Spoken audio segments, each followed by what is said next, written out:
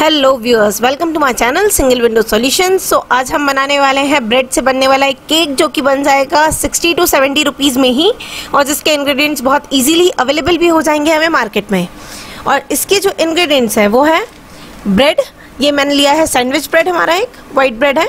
ये है हमारा lemon colour lemon yellow colour food colour है।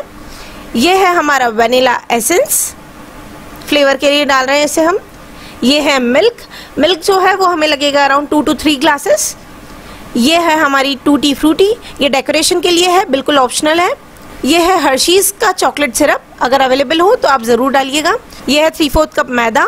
ये है sugar powder three fourth cup और ये है हमारा milk powder three fourth cup इसके लिए हमें लगेगा मिक्सिंग बोल एक स्पून एक नाइफ और एक चॉपिंग बोर्ड बस इतनी चीज़ों से हम केक बना लेंगे।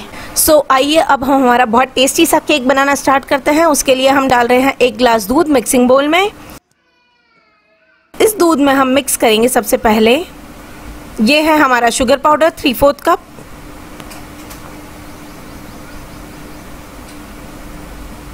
ये है मिल्क पाउडर ये भी है थ्री फोर्थ कप ये है हमारा मैदा, ये भी है थ्री फोर्थ कप मैदा शुगर पाउडर और मिल्क पाउडर तीनों सेम रेशो में होना चाहिए हमारे। और जो हमारा मिल्क होगा, वो होगा four times of these that is इसका मतलब ये होगा कि अगर हमारा एक बोल मैदा शुगर पाउडर और मिल्क पाउडर है तो हमें चार कप जो है, चार बोल्स जो है मिल्क लगने वाला है। इसे हमें ऐसे मिक्स करना है कि ऐसे लम्ब्स ना बने बिकॉज़ ये लम्ब्स बनेंगे तो हमारी आइसिंग बिल्कुल अच्छे से नहीं होगी। ये लम्ब्स को हटाने के लिए आप हैंड ब्लेंडर मिक्सी या फिर इसके अलावा विस्क कुछ भी चीज़ यूज़ कर सकते हैं और ये सभी चीज़ें अगर अवेलेबल नहीं है तो आप इवन वेजिटेबल चॉपर जो आता है हैंड वाला वो भी आप यूज़ कर सकते हैं। सो so, अब ये मैं इस बीटर से बीट आउट कर रही हूँ इसे। इसमें मैंने थोड़ा मिल्क और ऐड किया है। अराउंड हाफ़ ग्लास मैंने मिल्क इसमें ऐड कर दिया है। पहले हमने एक ग्लास डाला था हाफ़ ग्लास अब डाला है और इसे हम बीट कर रहे हैं बिल्कुल अच्छे से। सो so दैट इसकी कंसिस्टेंसी बहुत सॉफ्ट हो जाए। ये हमारा जो बैटर है, इसकी कंसिस्टेंसी बिल्कुल ऐसी होनी चाहिए, जैसे हम घर में लस्सी बनाते हैं उसकी तरह। ये हमारा बैटर अब बिल्कुल रेडी हो चुका है। अब इसे हमें कुक करना है। मैं इसे कुक जो है इंडक्शन पर कर रही हूँ। आप गैस स्टोव पर कर सकते हैं। इसके लिए मैंने जो पावर सेट किया है दैट इज़ 800 हमें बिल्कुल सिम पर इसे पकाना है और इसे हमें अराउंड 10 मिनट तक पकाते रहना है। चम्मच हमें इसमें कंटिन्यू चलाना है स्टेयर करते रहना है। एल्स ये नीचे चिपक जाएगा। अब हम डाल रहे हैं इसमें वनीला एसेंस थोड़ा सा मैं इसमें ज़्यादा डालूँगी बिकॉज़ फ्लेवर इसका अच्छा लगता है इसमें। टोटल हमने अराउंड वन टेबल स्पून इसमें डाल दिया है वनीला एसेंस फ्लेवर के लिए। इसके बाद अब हम डाल रहे हैं लेमन येलो कलर ये एक तरह का फ़ूड कलर है। इससे कलर बहुत अच्छा आएगा हमारा। इससे हमें बिल्कुल ज़रा सा डालना है बिकॉज़ इससे कलर बहुत जल्दी आता है। डार्क कलर केक में अच्छे कम लगते हैं स्पेशली येलो ऑरेंज कलर्स ये तो अच्छे नहीं लगते हैं। बिल्कुल लाइट सा कलर लाना है, इसलिए एक पिंच होना चाहिए हमारा कलर बस।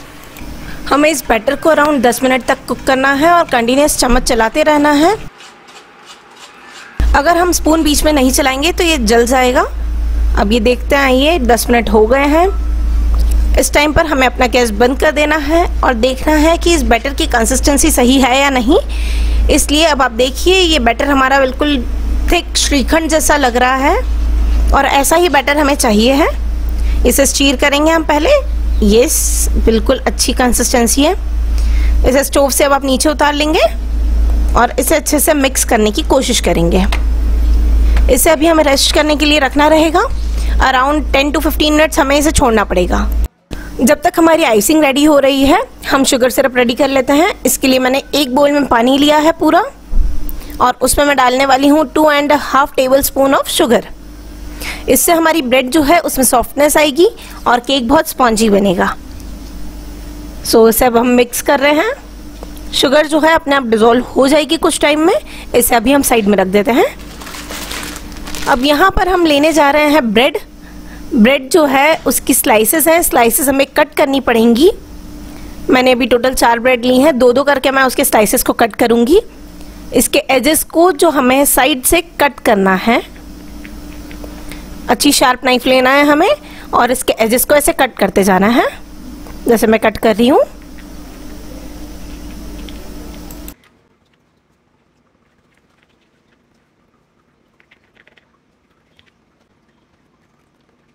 ये आप देख सकते हैं, ये दो ब्रेड्स की हमने एजेस पूरी कट कर ली हैं।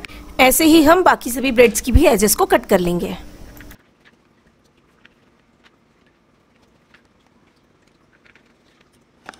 सभी ब्रेड्स मैंने ऐसे रेडी कर ली हैं अब। अब इसके बाद देख लेते हैं, हमारा शुगर सिरप जो है, इसकी शुगर डिजोल्व हुई है या नहीं? शुगर डिजोल्व हो चुकी है।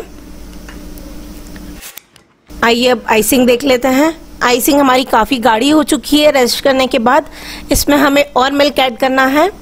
अभी मैं हाफ़ ग्लास से थोड़ा कम जो है मिल्क ऐड कर रही हूँ। और इसके बाद हम जब बीट आउट करेंगे तो हमें दोबारा से मिल्क ऐड करना होगा। इसमें मिक्स कर रही हूँ मैं मिल्क को।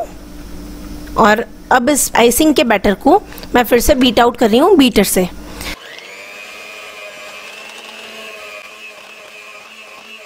बिल्कुल सॉफ्ट हो जाना चाहिए हमारा ये बैटर इसमें क्लोइंग कंसिस्टेंसी रहनी चाहिए, बिल्कुल फ्लफ़ी होना चाहिए ये बैटर ये मिल्क मैंने जो बचा था वो भी ऐड कर दिया है पूरा। ऐसे कंटिन्यू ऐसे बीट करते जाना है हमें सेवन टू एट मिनट्स के लिए। जैसे ही इसमें लम्स नहीं रहेंगे, ये रेडी हो जाएगा हमारा आइसिंग के लिए। ये देख सकते हैं आप फ्लोइंग कंसिस्टेंसी है बैटर की बिल्कुल। बस अब ये बिल्कुल रेडी है आइसिंग करने के लिए। आइसिंग करने के लिए हमारा सब कुछ रेडी है। सो ये स्पैचुला है मिक्सी वाला ये हमने ले लिया है। इससे हम स्प्रेड आउट करेंगे अपनी आइसिंग को। जिस भी ट्रे या प्लेट में आप केक को डेकोरेट करना चाहते हैं वो ले सकते हैं। मैं इस ट्रे में कर रही हूँ अभी। सो so, पहले हमारी ब्रेड बार बार हिले नहीं इसलिए हम नीचे थोड़ी आइसिंग क्रीम लगा देंगे। मैं स्पेचुला की हेल्प से लगा रही हूँ यहाँ पर। हम टोटल आठ ब्रेड का केक बना रहे हैं। आप चाहें तो आप चार का भी बना सकते हैं, या और चाहें तो ज़्यादा का भी बना सकते हैं। अब इसके बाद हम ब्रेड रख रहे हैं एक लेफ़्ट साइड में, और एक और ब्रेड है हमारी राइट हैंड साइड पर। ये जो है नीचे आइसिंग के कारण चिपक गई हैं। ब्रेड को सॉफ्ट बनाने के लिए अब हम यहाँ पर डालने वाले हैं शुगर सिरप ये मैं दोनों ब्रेड पर ये शुगर सिरप डाल रही हूँ।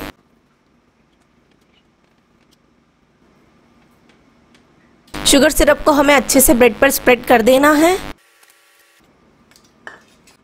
शुगर सिरप कंप्लीट होने के बाद अब ये मैं आइसिंग को स्प्रेड कर रही हूँ, जो स्पेचुला था मिक्सी वाला, उसी से। आइसिंग को हमें इवनली स्प्रेड करना है और इसी सेम प्रोसेस को हमें हम जितनी भी लेयर्स बनाते हैं, दो, तीन, चार, पाँच छः उन सभी पर फॉलो करना है। ये हमारी फ़र्स्ट लेयर है, इस पर हम स्प्रेड कर रहे हैं आइसिंग क्रीम ये हमने दूसरी ब्रेड ले ली है अब सेकेंड लेयर के लिए। इसे रखा है। इसी के पास में हम एक और ब्रेड रख रहे हैं। ये हमारी सेकेंड लेयर सेट हो गई है। इस पर हम डाल रहे हैं शुगर सिरप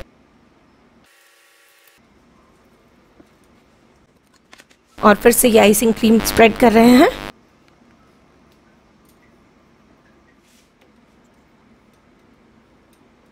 आइसिंग क्रीम को अच्छे से इवनली स्प्रेड कर देना है हमें और इसको डेकोरेट करने के लिए बीच में हम टूटी फ्रूटी का मैं यूज़ कर रही हूँ। इसे हमें स्प्रेड कर देना है पूरे लेयर पर।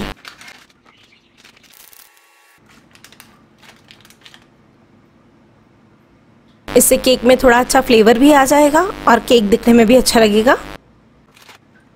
इसके ऊपर हमने अपने केक की थर्ड लेयर रख दी है। फिर से शुगर सिरप डाल रहे हैं हम इस थर्ड लेयर पर भी। और ये आइसिंग क्रीम लग गई है हमारी थर्ड लेयर पर। Now here comes fourth layer ये शुगर सिरप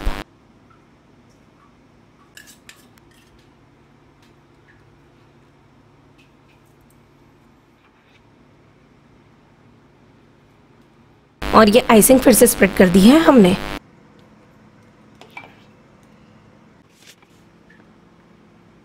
मैंने चार लेयर्स का केक बनाया है आप चाहें तो लेयर्स बढ़ाया कम कर सकते हैं देख सकते हैं आप अभी साइड में क्रीम नहीं लगी है हमारी।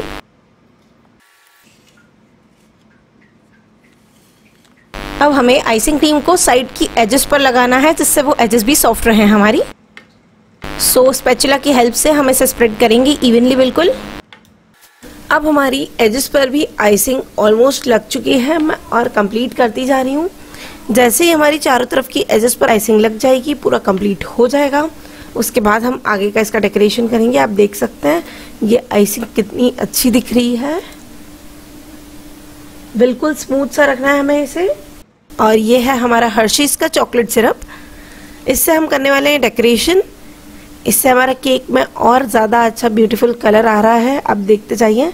जिग्जैग पैटर्न बना रही हूँ मैं, जो कि सिंपली कोई भी बना सकता है। देख लीजिए आप।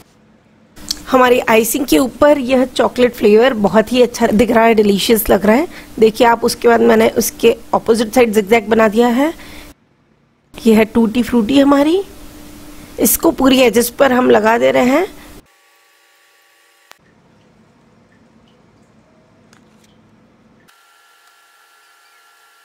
आप चाहें तो लगाएँ, चाहें तो ना लगाएँ। मुझे पर्सनली ये अच्छा लगा है, इसलिए मैंने लगाया है। अब लिया है ये हमने जेम्स का पैकेट इससे मैं हार्ट बनाने की कोशिश कर रही हूँ। वो तो केक वैसे ही बहुत ब्यूटीफुल लग रहा है। जैसा कि आप देख पा रहे हैं, हमारा केक बहुत ही अच्छा बना है, बहुत ही डिलीशियस लग रहा है देखने में ही। आप मेरी आइसिंग को अच्छे से देख सकते हैं, कैसे उसमें से चॉकलेट ड्रॉप हो रही है। इसे हम साइड से चाहें तो क्लियर कर सकते हैं बट चॉकलेट क्यों हटाना? तो इसलिए मैं नहीं हटा रही हूँ। अब चाहें तो आप साइड से इसकी एजेस को क्लीन कर सकते हैं।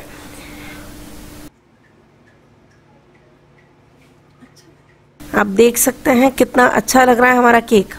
आप ज़रूर ट्राई कीजिएगा इस केक को। अगर आपको मेरी ये रेसिपी पसंद आती है तो प्लीज़ वीडियो को लाइक ज़रूर कीजिएगा और मेरे चैनल को सब्सक्राइब कीजिएगा। Thank you so much